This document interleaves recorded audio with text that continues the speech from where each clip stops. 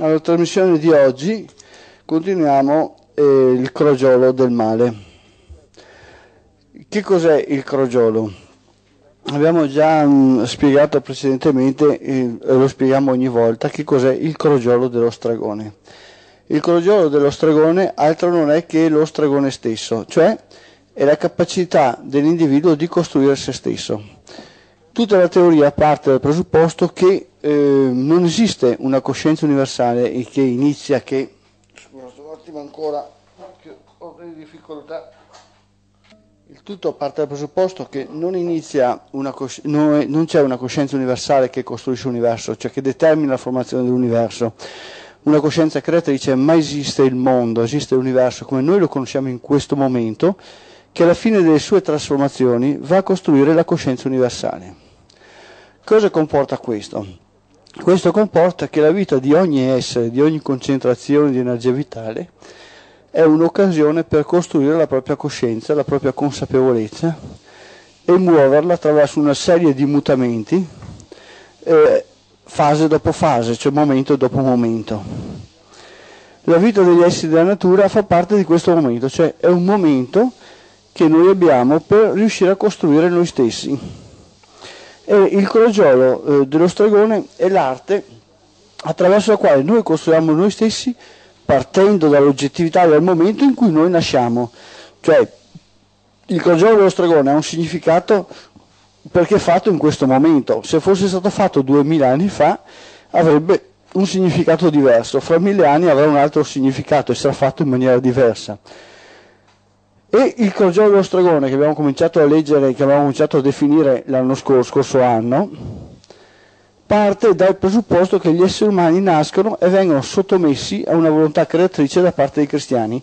Cioè noi viviamo in Italia, viviamo sotto un cristianesimo, un cattolicesimo che tende a stuprare gli esseri umani. Stuprare gli esseri umani da un punto di vista pagano non significa semplicemente un atto fisico con cui si stuprano i bambini, ma è un atto attraverso il quale si distrugge il divenire delle persone nell'eternità dei mutamenti, cioè la persona viene eh, privata di quelle prerogative che servono per determinare la sua volontà e le sue determinazioni, la sua costruzione, il suo modo di essere.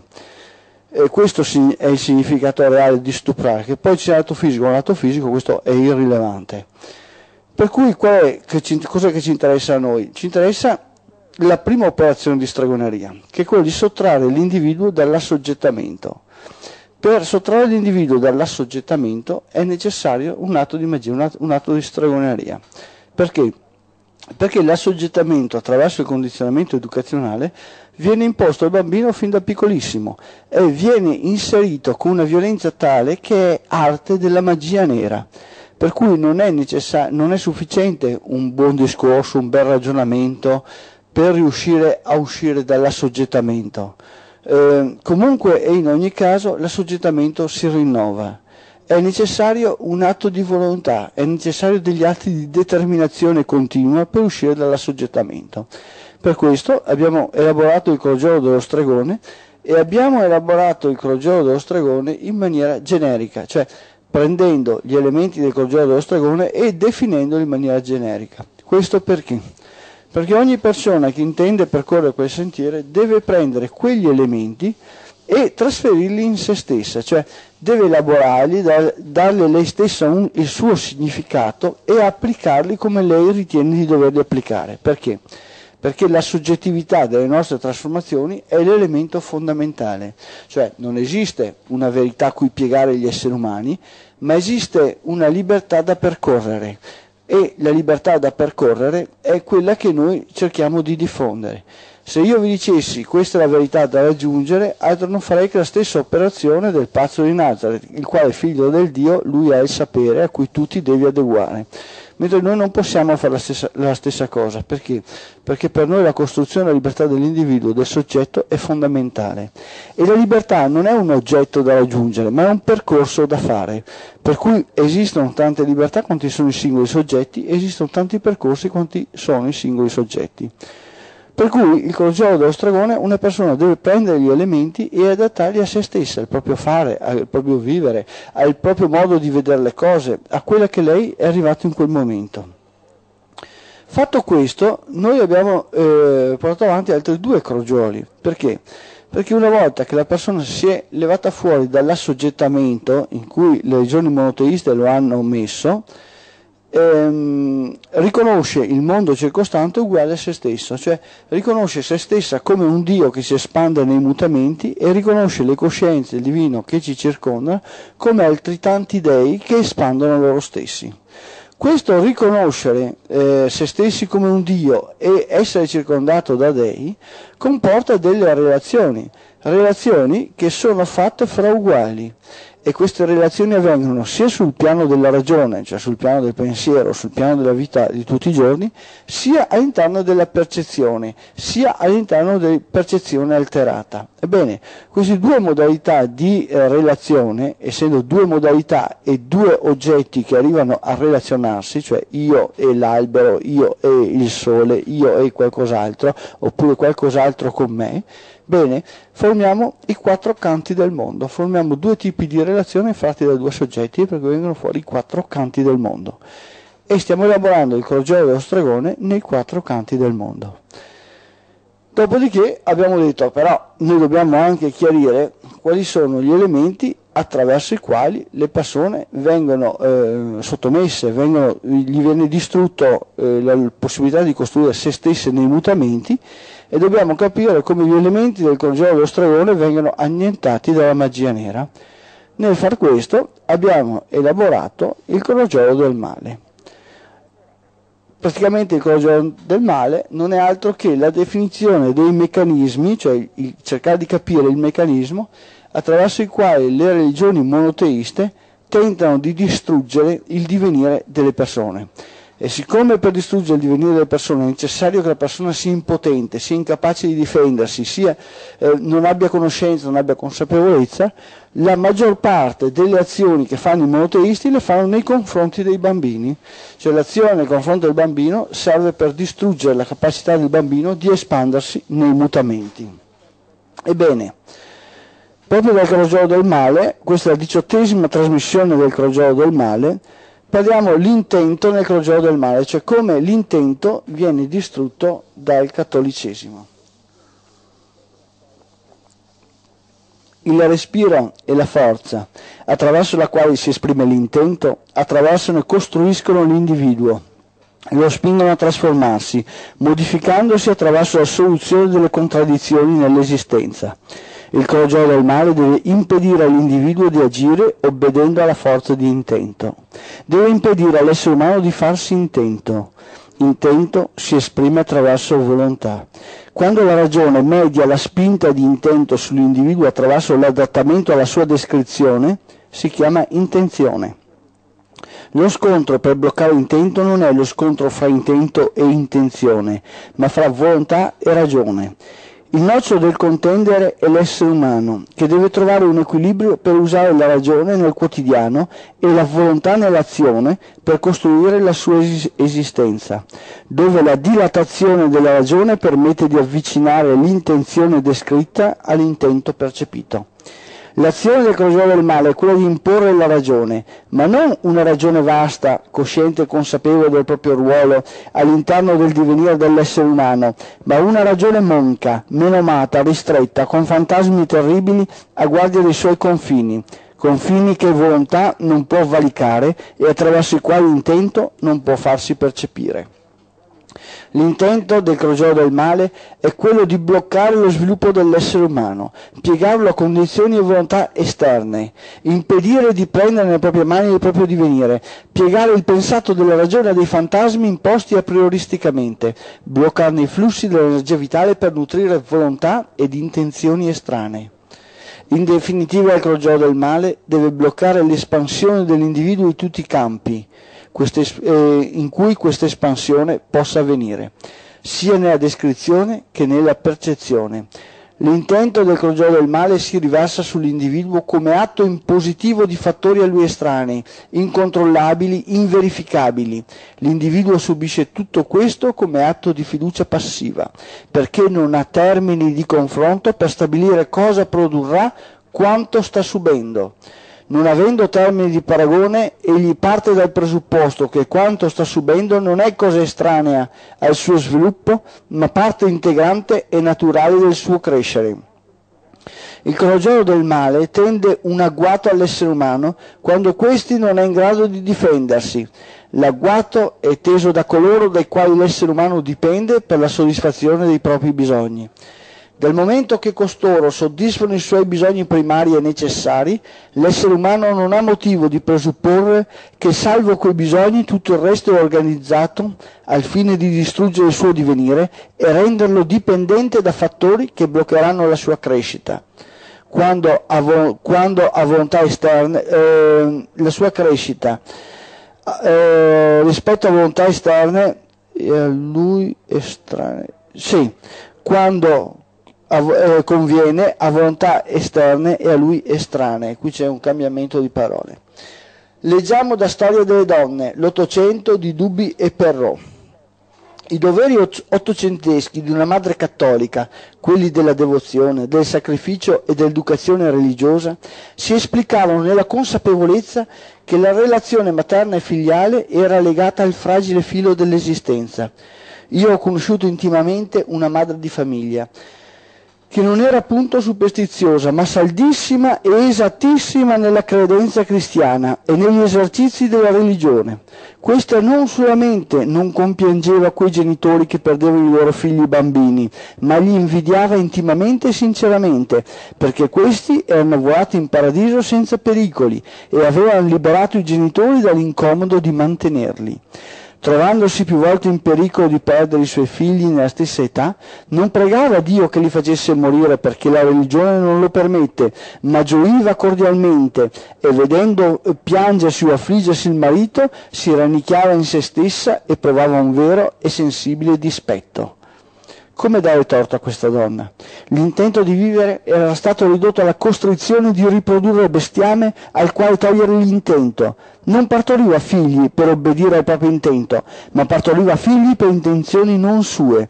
Ogni parto era uno stupro, uno stupro di cui la religione cattolica era la mandante e l'esecutrice mandante ed esecutrice come possiamo rilevare da altra pagina dello stesso libro, libro sempre la storia delle donne, l'Ottocento di Dubbi e Perrò. Eh?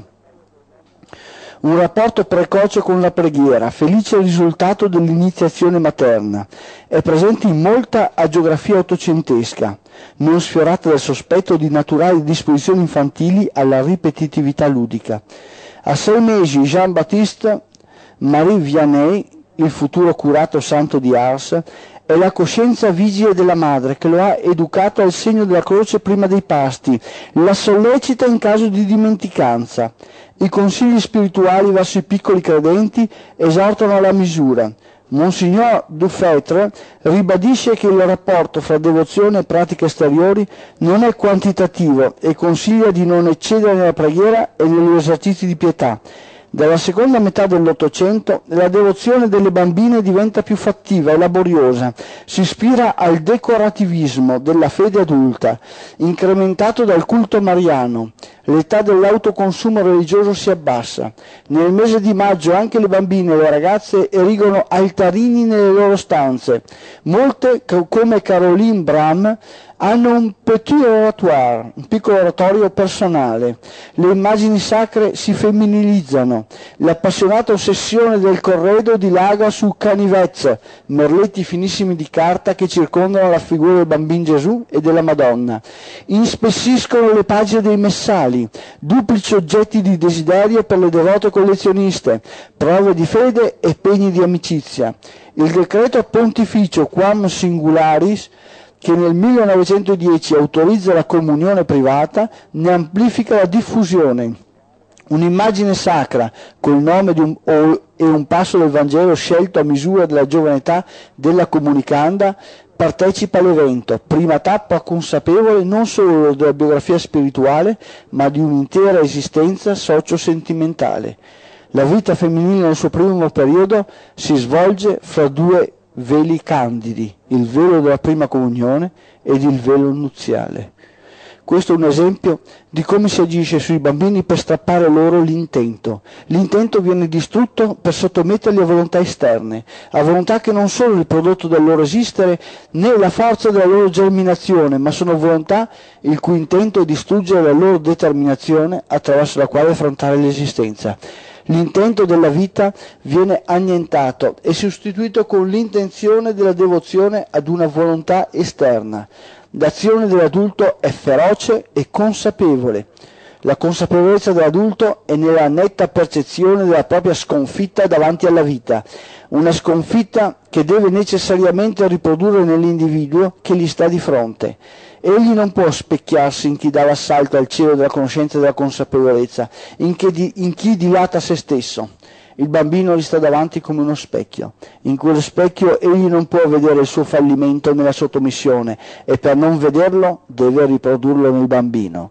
Così può continuare ad ingannarsi. Ecco il bambino uguale a me, non ha mangiato il frutto della vita eterna per vivere in eterno. Anch'egli metterà fine alla sua sequenza dei mutamenti come me l'intento della vita è stato distrutto.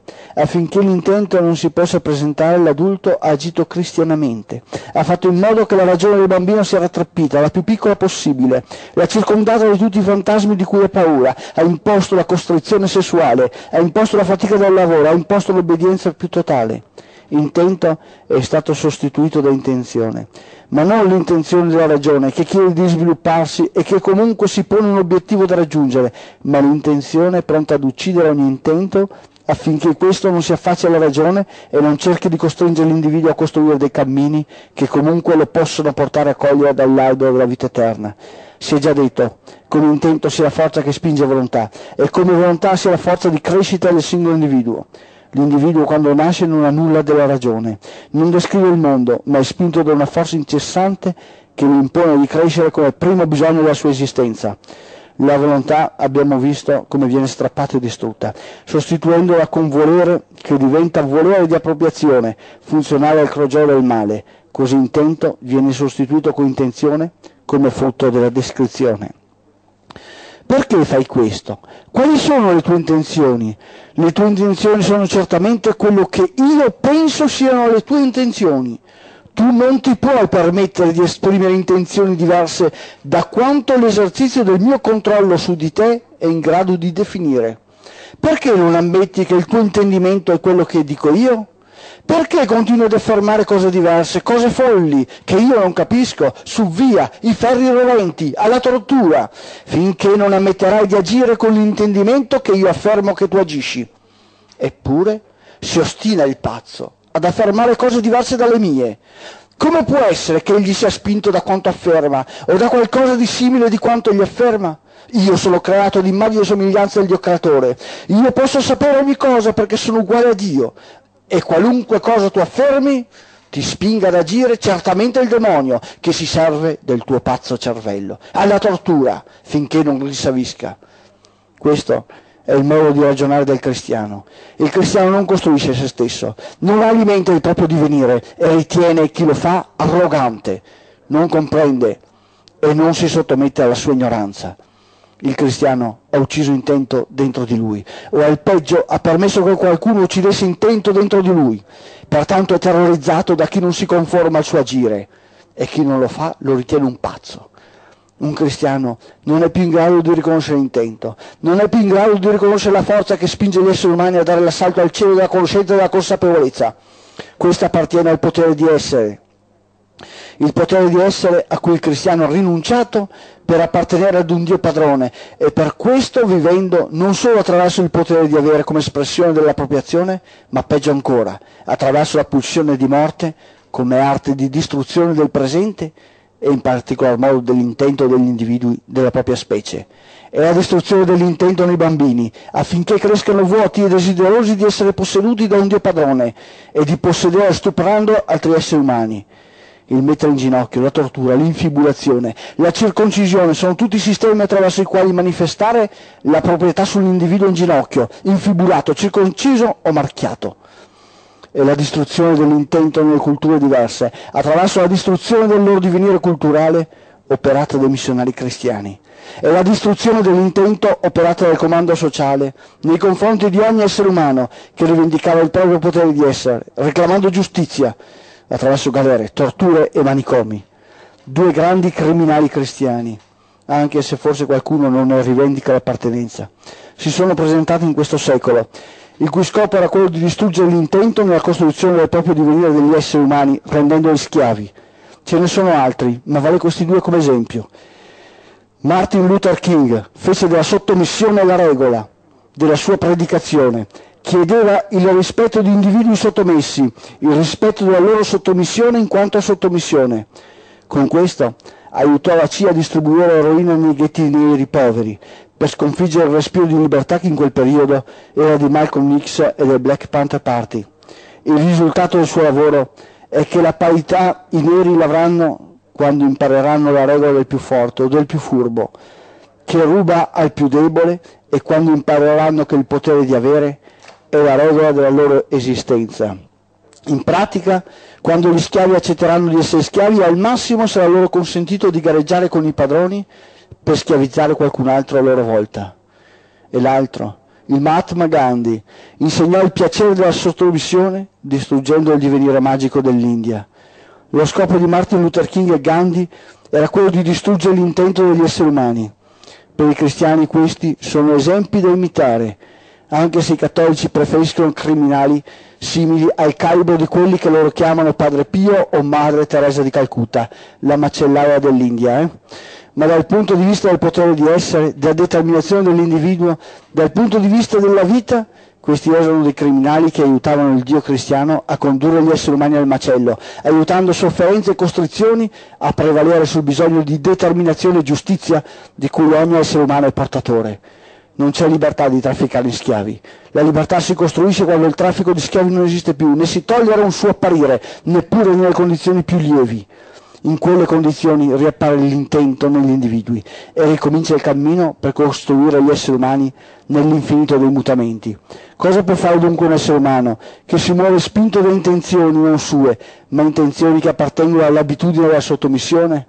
Serrare i pugni e i denti e mescolare il proprio crogiolo. L'intento è il soffio dell'infinito che ci circonda, l'intento è espresso da ogni coscienza di sé che marcia lungo il sé quando si serrano i pugni e si proclama la propria esistenza, il soffio di intento si è fatto sentire, nonostante il condizionamento educazionale dell'individuo. Quel soffio può essere solo un attimo, sta all'essere umano afferrare l'attimo, incubarlo, nutrirlo fino a farsi avvolgere. I cristiani sentono qualche volta il soffio di intento, lo scacciano, ne hanno paura, subito si mettono a pregare affinché il loro Dio padrone allontani la tentazione di libertà pregando rinnova la sottomissione, pregando dicono intendo vattene, io sono bestiame del Dio padrone, non permetterò a nessuno di allontanarmi dal suo macello, io non ti permetto di trasformarmi in un Dio per, di, vive, per divenire nell'eternità dei mutamenti, io voglio essere sacrificato al mio Dio. A volte il desiderio di, di sottomissione è così forte che i cristiani chiamano costoro martiri della fede, sono coloro che pur di distruggere l'intento negli esseri umani hanno sacrificato se stessi. I cristiani omettono di dire che costoro erano solo morti che camminavano. Avevano distrutto a tal punto l'intento dentro di loro da essere assolutamente vuoti. Rimanevano nella vita fisica soltanto finché era data loro l'opportunità di distruggere l'intento in altri individui. Quando questo veniva loro impedito, facevano resistenza al punto tale da morire. La pulsione di morte alimenta il bisogno di diffondere pulsione di morte. Il crogiolo del male ha come scopo la distruzione del divenire dell'essere umano. Questa distruzione è un atto quotidiano, sistematico, non lascia nulla al caso, tutto è programmato. L'intento soffia sempre, scuotendo gli individui. Il crogiolo del male non è in grado di fermare quel soffio, ma può distruggere il Dio che cresce dentro gli esseri umani, affinché non percepiscano quel soffio né diventino sufficientemente veloci per farlo proprio. Per questo motivo il pazzo di Nazareth nei quattro Vangeli ufficiali attraversa la Palestina scacciando demoni.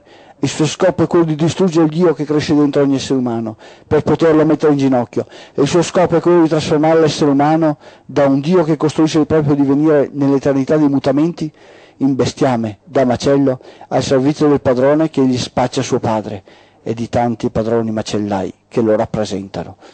Ma il vento soffia ancora ed è il vento di intento.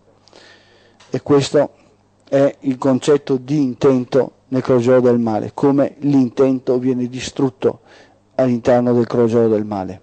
Ebbene, nella prossima trasmissione invece parleremo palpare il mondo nel crogiolo del male, però la prossima trasmissione sarà invece del crogiolo del dello stregone nei quattro canti del mondo. Scusate un attimo solo. Bene, vediamo un attimo la telefonata, vi ricordo che i numeri di telefono sono 700 700 e 700 838.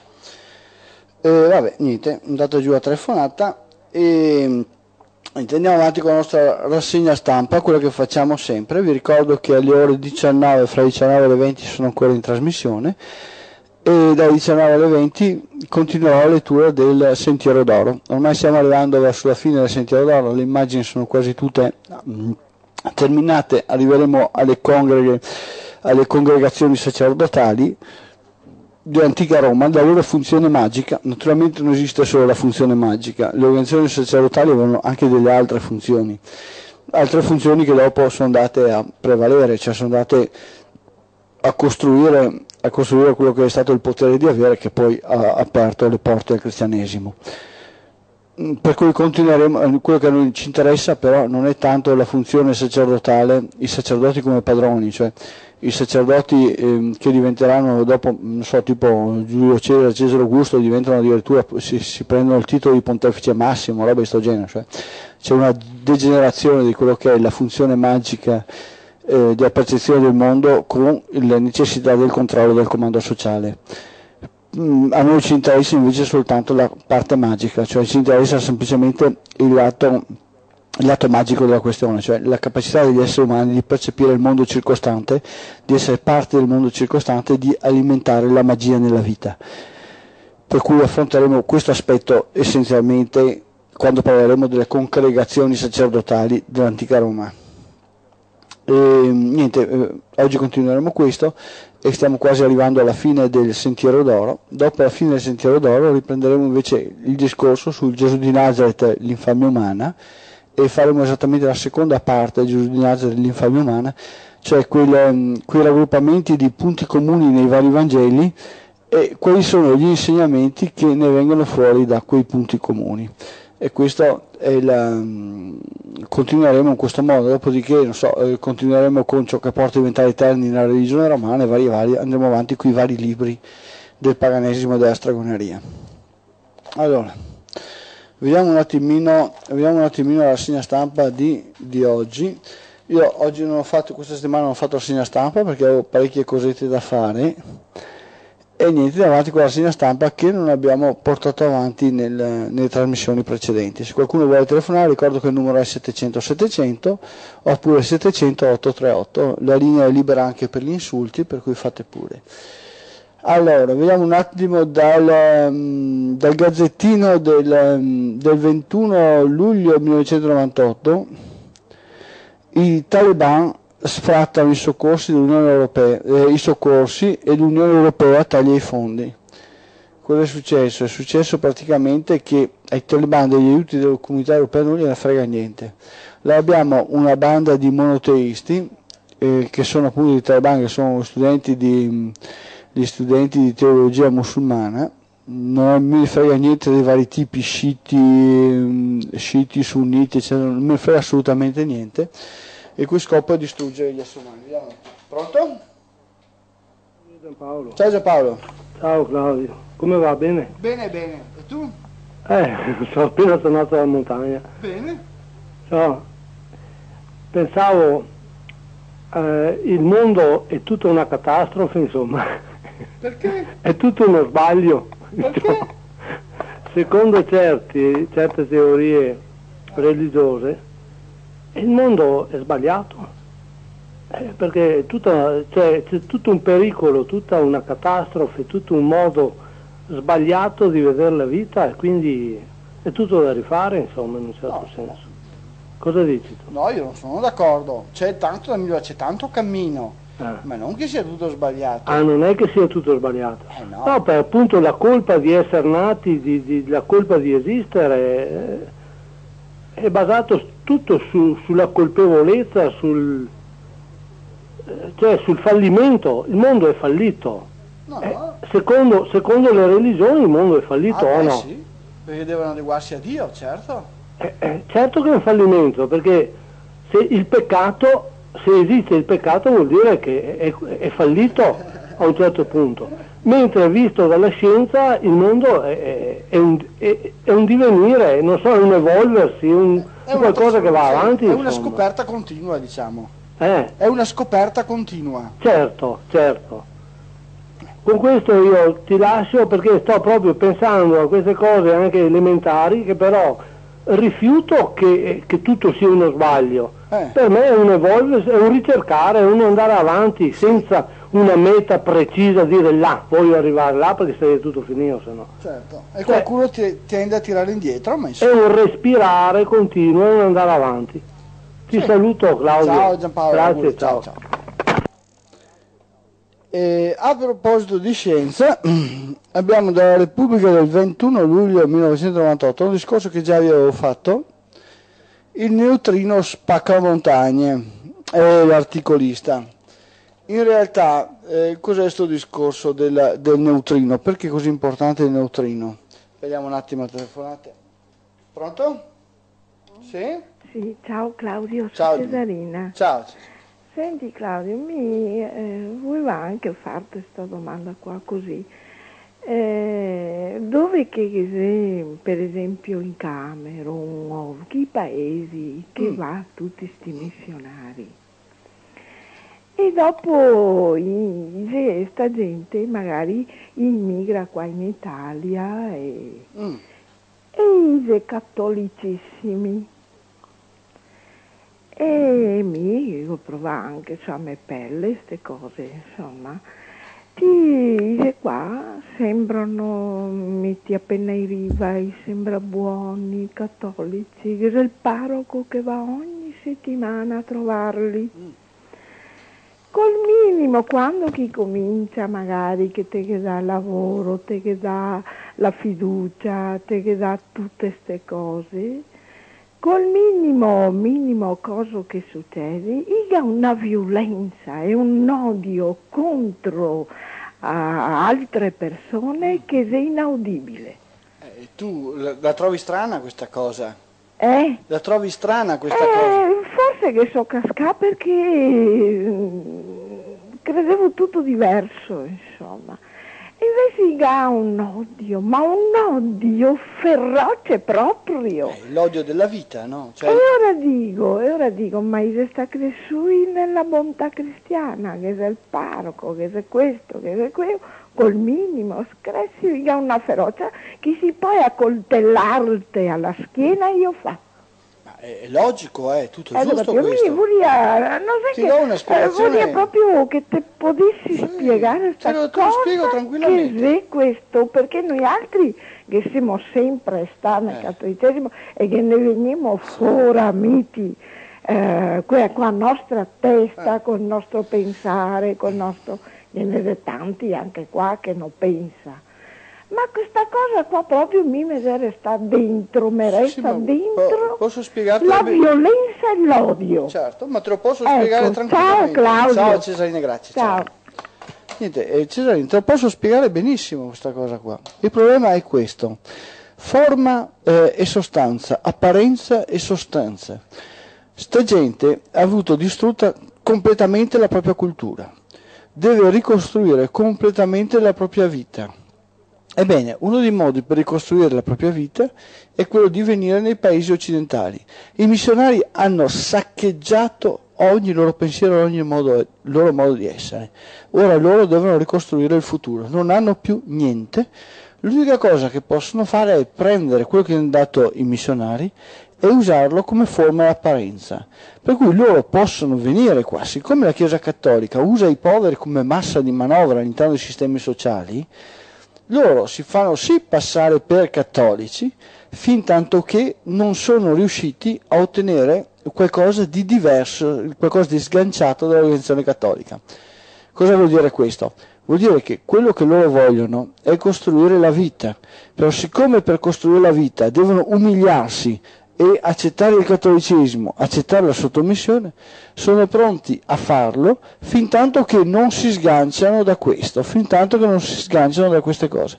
Una volta che sono sganciati da queste cose, loro hanno tutta la rabbia della repressione, tutta la rabbia di essere presi in giro, tutta la rabbia di aver perso una cultura, tutta la rabbia di dover imporre se stessi. Per cui noi ci troviamo davanti ad affrontare queste cose. E questo è logico, cioè non esiste illogicità in questo. L'illogicità sta nella testa delle persone che pensa, eh, dei cattolici più che altro, che pensano che le persone siano bestiame, che le persone non pensino, che siano oggetti da usare per i propri progetti, per le proprie manovre. Ma le persone sono, ehm, sono elementi fondamentali. Cioè, quando io parlo del crogiolo dello stregone nei quattro canti del mondo, eh, il crogiolo dello stregone eh, si può fondere nei quattro canti del mondo anche con altre persone. Ebbene, l'altra persona con cui noi eh, costruiamo la relazione, che può essere anche il nostro marito, nostra moglie, il nostro amico, eccetera, se noi non sospendiamo il giudizio, se noi non sospendiamo, eh, non assumiamo un atteggiamento scettico, non siamo in grado di percepire quella persona per ciò che è o per ciò che vuole, ma non facciamo altro che proiettare noi stessi, la nostra educazione, le nostre aspettative, i nostri desideri su quella persona. E allora quella persona non la percepiamo più per quello che è, ma la percepiamo per quello che noi vorremmo che lei fosse. Ebbene, su questo percepire la persona eh, per quello che noi vorremmo che lei fosse, si costruisce l'inganno. Cioè, inganno si costruisce quando noi inganniamo noi stessi. Se noi sospendessimo il giudizio, se noi avessimo un atteggiamento scettico, percepiremmo le, pers- le, tensioni di quella persona non per ciò che ci appaiono o per ciò che noi vorremmo che fossero, ma per ciò che quelle tens- tensioni sono in realtà. Bene, noi eh, ci hanno sempre educato, ci hanno sempre educato a sottometterci a quello che è delle idealità che non vengono fuori da noi stessi, ma che ci sono imposte, stereotipate, cioè sono delle verità imposte. Bene, quando noi ci siamo sottomessi a quelle verità imposte, diventiamo ciechi rispetto alla realtà che ci viene davanti, cioè non abbiamo più la realtà per quello che è, ma per quello che noi vorremmo fosse la realtà, per cui non facciamo altro che proiettare noi stessi sulla realtà. E questo è l'effetto dei cattolici, l'effetto dell'educazione cattolica, cioè la, cattolico, cioè l'educazione cattolica ti toglie la possibilità di guardare le cose per ciò che sono, e ti costringe a considerarti te al centro del mondo e proiettare sul mondo il tuo pensiero, il tuo modo di essere. Per cui ecco che la pianta non pensa, l'animale non ha sentimenti, il mondo è muto, perché tu sei incapace a sentire il mondo, perché tu sei incapace ad avere sentimenti, perché tu sei incapace a percepire la vita che ti circonda. Ed ecco che lo schiavo è, è, schiavo solo perché è un idiota, il nero è nero e in miseria solo perché è un idiota, perché qualcuno l'ha fregato, e quest'altro vive in quelle condizioni perché lui è stupido, mentre tu che vivi in migliori condizioni non è che hai avuto delle condizioni favorevoli, ma perché tu sei intelligente. Ed ecco allora che magari l'idiota del paese si reputa più intelligente del nero dell'Africa, magari ignorando che il nero dell'Africa si è fatto un mazzo tanto per attraversare delle contraddizioni che lui nemmeno avrebbe mai immaginato. Per cui ecco che si proietta sugli altri quello che noi vorremmo che gli altri fossero. E questa è la stronzata più grossa dell'educazione cristiana, perché così si uccide le persone e si uccide la capacità delle persone di ehm, produrre noi stessi. Cioè, se il cristiano dice l'essere umano è eh, costruito a immagine e somiglianza di Dio, bene, c'è un gioco d'apparenza. Con questo discorso, al centro dell'universo, il cristiano mette l'uomo, cioè mette l'essere umano. Cazzo, dici che bello che è l'uomo che è migliore di tutti gli altri però nel fare questa operazione separa l'essere umano dal resto del mondo, cioè l'essere umano non è parte della natura, non è parte della terra, non è parte per cui costruisce il suo futuro, ma lo separa dal mondo in modo da impedirgli di costruire il suo futuro. Per cui questa operazione di voler mettere l'essere umano al centro, mondo, al centro delle attenzioni del Dio, in realtà è un'operazione per distruggere il divenire dell'essere umano, perché lo toglie dall'oggettività che lo ha prodotto, dalla vita che lo ha prodotto. Cosa dicono invece i pagani? L'essere umano non è altro che un virus sulla Terra, non è altro che un essere della natura che cerca di costruire se stesso. Facendo questa operazione i pagani mettono l'essere umano all'interno della vita che lo ha prodotto, per cui con la possibilità di continuare a costruire se stesso nell'infinito dei mutamenti. Allora, il gioco d'apparenza che fanno i cristiani in realtà è solo per trasformare l'essere umano in bestiame di allevamento, mentre invece gioco, eh, quello che fanno i pagani dicendo che l'essere umano è parte della vita, è parte della natura, non c'è differenza fra un essere umano, un virus e un verme quando si tratta di tensioni che costruiscono, quando si, si, tratta di costruire l'essere luminoso che c'è dentro, quando si tratta di costruire se stessi nei mutamenti, tutti dobbiamo affrontare le nostre contraddizioni, tutti dobbiamo affrontare la vita, tutti dobbiamo essere in grado di prendersi nelle nostre mani la responsabilità delle nostre cose. Bene, facendo questo i pagani invece mettono al centro dei loro interessi se stessi, costruiscono l'uomo, l'essere umano si costruisce, mentre l'operazione che fanno i cristiani è proprio quella di distruggere la capacità dell'essere l'essere umano di costruirsi. E questo dobbiamo stare attenti. Cioè, il nero che viene dall'Africa non è un povero buono, non è un idiota, è un essere umano che intanto si è tolto dal villaggio, ha affrontato le contraddizioni, doveva conoscere il denaro, doveva conoscere i, i soldi, magari conosce almeno tre lingue, è, è, dovuto saper imbarcarsi, ha dovuto saper muoversi, doveva avere un obiettivo e un intento, cioè è una testa, cioè è un genio. Solo per il fatto di arrivare in Italia, per aver vissuto le contraddizioni del proprio paese ed essere arrivato in Italia, è una testa è una testa notevole, una testa pensante, notevole, rispetto alla massa di idioti costruiti dal cattolicesimo qui in Italia, che abbiamo una massa di, cioè il cattolicesimo costruisce gli idioti, questi sono effettivamente dei geni, cioè noi abbiamo delle persone che da qui a 15 anni no, avranno una posizione estremamente importante nel nostro paese, e stiamoci attenti mh, mm, a, a, sottovalutare le cose. Eh. Va bene, detto questo, Andiamo un attimo, andiamo avanti ancora col discorso della scienza che avevamo interrotto. E il discorso della scienza parte dal discorso sulla Repubblica del 21 luglio 1998 ed è il neutrino spaccamontagne. In pratica cosa è successo? È successo che alcuni ricercatori giapponesi hanno scoperto che il neutrino ha massa Cosa significa che il neutrino ha massa? È una massa infinitamente piccola, quasi incalcolabile, però ha massa. Questo significa che non esiste nell'universo energia che non sia a sua volta materia. Vediamo un'altra telefonata. Pronto? Buongiorno. Buongiorno. Parlo con il signor Claudio, Sim- Claudio Sono io, sono io.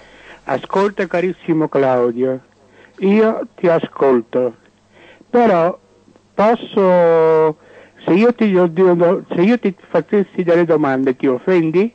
Beh, basta che siano brevi che posso rispondere senza fare tanti discorsi. Non sono breve, ma sono brevissime. Va bene. Aggettivo superlativo. Ascolta, eh, come si spiega il fatto che il Papa è pellegrino? Sua Santità è pellegrino gira il mondo per portare la pace. Allora, io rispondo che invece sono un stupratore di bambini. Poi un'altra cosa, cioè per stupratore cosa intendi? È un stupratore di bambini. Cosa intendi con questa parola? Cioè, quando lui, c'era Girl, che è stato trovato, faceva l'omosessuale, faceva stupratore di bambini, anziché dirle questa non è dottrina cattolica, siccome la dottrina cattolica implica lo stupro dei bambini, io non ti caccio dalla Chiesa cattolica.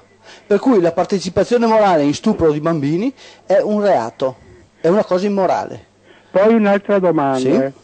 Eh, come, eh, quando ci sono le feste grandi come San Pietro e Paolo, eh, quando ci sono insomma, le grandissime feste, eh, come si spiega che la piazza San Pietro è colma di gente? Sono tutti ignoranti, sono tutti stupidi che no, lo no. stanno ascoltando? No, no, no. E sono persone private della loro capacità. Spiega, come si spiega questo fatto? Sì, ma guarda che eh, i milioni di persone torturate, bruciate nel Medioevo, tutte le eresie che sono state perseguitate con la morte, l'orrore, eccetera, hanno seminato eh, distruzione nel divenire umano. Cioè, questo è significato. Cioè, il cattolicesimo non, non ha una dottrina o un'idea da dare all'uomo, deve sottomettere l'uomo al pensiero di un Dio che non esiste per sottomettere l'uomo a un Dio che non esiste ha dovuto stuprare per duemila anni, ha distrutto l'umanità, ha fatto roghi, massacri, cioè, per impedire agli esseri umani di costruire loro stessi. E questo è il risultato di questo. Sai chi è il Papa? Per me è un assassino, eh, oltretutto è anche un mafioso perché ha organizzato la mafia in Polonia contro le donne affinché non abortissero, per cui un assassino. Dopodiché per me è un assassino anche il Dio che adora, eh. Non c'è Ma problema. ascolta Claudio, sei sicuro di quello che stai dicendo? Sì, sì, sì. Eh, guarda, sono Sai sicuro dal chi- punto di vista Hai magico. capito con chi parli? Non ha importanza con chi parlo. Per me ogni persona ha- è, è un valore per il momento che è Bravo, persona. questa è una parola esatta. Eh, ciascuno di noi siamo un essere, un essere che poi non rappresentiamo niente e che un giorno No. diventeremo niente. Non è vero. Perché? Perché io mi costruisco, un cristiano si mette in ginocchio e distrugge se stesso. Eh, sono due cose diverse. No, ma un- arriverà il giorno, Mm? arriverà il giorno, non è oggi, è domani, se non è domani sarà dopodomani. Sì. Oggi ci siamo e domani non ci siamo. Ah beh, ci spero bene, sto lavorando solo che per quello. Ascolta Claudio, Sì? un'altra cosa, un'altra domanda. Eh, adesso in questo momento mi hai fatto un po' di confusione. Ascolta Claudio, eh, c'è una preghiera che dice Padre nostro che sei nei cieli. Sì, per me, io ho già parlato che questo è orrore e morte. Errore? Orrore e morte. Come mai che c'è la Pasqua e il Natale? Eh, avete imposti con la violenza. Il Natale era una festa di solo invicto. Con la violenza. Eh sì, solo con la violenza. E basta. Avete distru- è stato distrutto, il cattolicesimo ha distrutto ogni culto, ogni religione, ogni sentire religioso attraverso morte, tortura, leggi, cioè, ha devastato la storia. Eh, questo adesso, vabbè, dopo le lotte sociali hanno aperto un po' di liberalismo, però questo è stato fatto. Non è che sia, che sia stato un sentimento delle persone, è stato imposto con le armi, nient'altro. Eh, un'altra cosa, cercherò di essere breve, come tu mi hai raccomandato di essere breve e ti ringrazio perché mi dai queste risposte. Eh, perché si prega? La preghiera che valore ha? Eh, anche questo ne ho parlato del crogiolo del male. Preghiera, No, forse non avrò sentito la, Sì. trasmi- la tua trasmissione la- non- la preghiera- la preghiera è l'atto di autodistruzione, viene insegnato ai bambini piccolissimi. Fino- pri- Ma non prima- prega solo i bambini, pregano anche i grandi? Sì, ma quando si costruisce, chiesa, si fa quando la si costruisce, quando si costruisce la la distruzione, confessione? sì, quando si costruisce la distruzione nel bambino, dopo eh, diventa molto difficile prendersi nelle proprie mani la responsabilità della propria vita, affrontare il mondo, dare l'assalto al cielo della conoscenza. Si preferisce sperare l'esistenza di qualcun altro che ci aiuti a fare questo. Si è distrutta la propria capacità di divenire nel mondo. Tutte- questo è l'orrore. Tutte queste cose da dove, hai dei- eh, eh, da dove le hai ricavate? Da me stesso. Cioè? Da me stesso. Da te stesso, ma in che senso? nel senso che ho viaggiato nell'infinito dei mutamenti per quello che io sono riuscito a vederlo. Non ti preoccupare. Ho, ho dovuto studiare per riuscire a capire cosa mi succedeva. Il tuo ho una, certezza che nasce da, ho una certezza che nasce da dentro che mi permette di affrontare qualunque cosa. Magari non ho la cultura sufficiente, però ho la certezza sufficiente per affrontare qualunque cosa. Che cosa ne pensi? Che cosa ci sarà nel 2000? Niente, quello che c'è adesso, un po' meglio, un po' di diverso, Ma, non, no, ma non, non era stato detto, anzi se mi permetti ti ringrazio, ti ricordi quella volta che, so- eh, che erano arrivati i primi mille anni Sì? e i testimoni di Geova dicevano, io non sono testimone di Geova, eh, ma sono sempre cristiani. Sì, va bene, tutti, pure tu sei un cristiano, No. tutti siamo cristiani. No, caro, no. Perché- no? No, non- io bestia? sono un pagano, mi spiace. Come? Io sono pagano, Pagano. o apprendista stregone se preferisci, o guardiano dell'anticristo se preferisci. Lo- nello spiritismo ci credi? No, anche se io ho fatto parecchie sedute spiritiche, cioè non comunque qualunque cosa eh, spiritistica classica che ci sia. Eh, ascolta, eh, perché tanta eh, t- io no, eh, c'è l'ingegnere, c'è il dottore, sì. c'è insomma tantissima gente di studio, di culture, sì. di scienze che alla domenica va alla messa. Questa gente non potrebbe stare a casa, come si spiega che anche loro credono e vanno in chiesa? Hai, hai letto le statistiche? Da quando, da quando eh, l'imposizione armata dei cattolici, Paolo di dello Stato, è diminuita, sta crollando sistematicamente l'adesione alla Chiesa, cioè la gente che va in Chiesa è sempre meno, per cui voleva dire che era ottenuta mediante le armi, solo che le armi hanno, eh, oggi hanno, hanno, prodotto delle persone eh, condizionate educazionalmente per andare in Chiesa, però molta gente si sta liberando e le percentuali sono sempre maggiori. Questo è un dato di fatto almeno, credo, no? Cioè senza l'imposizione di andare in chiesa, senza il terrore del parroco che minaccia e ricatta, senza il, il, prete, senza il guardiano militare, cioè il prete militare, senza il magistrato cattolico, cioè senza queste, ehm, tutto questo orrore, la gente che va in chiesa è sempre meno, cioè chiede più, sempre più libertà. Tu, che dopo non sappia dove sbattere la testa è un altro discorso. Tu, Però... ha, tu hai un'anima? No, io ho un corpo di energia che sto costruendo, ho una scintilla, ma è mia cioè nel senso che se mia madre abortiva andava persa. E poi un'altra cosa, eh, insomma, hai mai letto la Bibbia? Beh, eh, mi sembra, Ti credi nella Bibbia? mi sembra di averne letta parecchie. Ti credi al Vangelo? Cosa? Credi alla Bibbia, credi al Vangelo? No, eh, cioè nel senso che sono delle cose orribili. Cioè, eh, cose orribili come le persone. Che senso? Eh? Orribili in che senso? Cioè, nel senso che servono per distruggere il divenire delle persone, per far diventare bestiame del Dio, cioè perso- anziché essere persone che determinano loro stesse, sono persone che vengono costrette ad essere parte di un gregge che va al macello. Il macello chi è che produce il macello? È il Dio, il macellaio di Sodoma e Gomorra, è quello che dice fai quello che voglio io, io ti ammazzo. Per cui questa è la Bibbia. La Bibbia insegna come stuprare il divenire delle persone. Ascolta, carissimo Claudio, eh, beh, qua ho chiuso. Po- posso domandarti un favore? Ti ringrazio. Potrei salutare delle persone? Come no? Grazie infinite. Saluto il nostro carissimo Giampaolo. Ca- saluto il nostro carissimo Franco Cararo. Saluto tutti i radioascoltatori dalla A alla Z augurando se hanno fatto, cioè se devono ancora fare, buone vacanze e se le avessero fatte buone giornate, che le giornate siano serene, portatori di pace e di serenità. Arrivederci. Il mio nome, pronto? Sì? Il mio nome è Giovanni Coletta. Vabbè, auguri. Ciao. Salve. Pace. Bene, io invece spero che le vostre giornate eh, siano piene di contraddizioni e che nelle contraddizioni possiate costruire la vita perché costruire la vita vuol dire affrontare la vita, significa costruire se stessi. Va bene, detto questo andiamo avanti. Eh, abbiamo detto, riprendiamo il discorso, eh, ancora. Pronto?